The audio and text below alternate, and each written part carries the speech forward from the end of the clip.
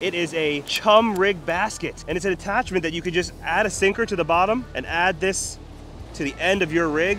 Now what we're gonna put in here is shrimp heads, clams, fish guts, whatever waste that you're not using from the bait that you're already using, Man, look delicious. all mushed up. God. Ooh.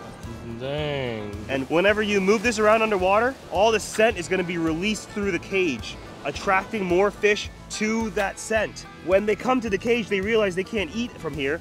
The only thing they can eat is my sand flea or whatever bait I have on the hooks. Let's try it out.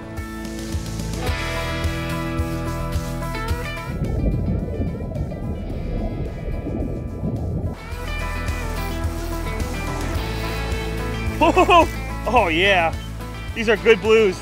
Don't stick your fingers in a bluefish's mouth, you're gonna lose your finger.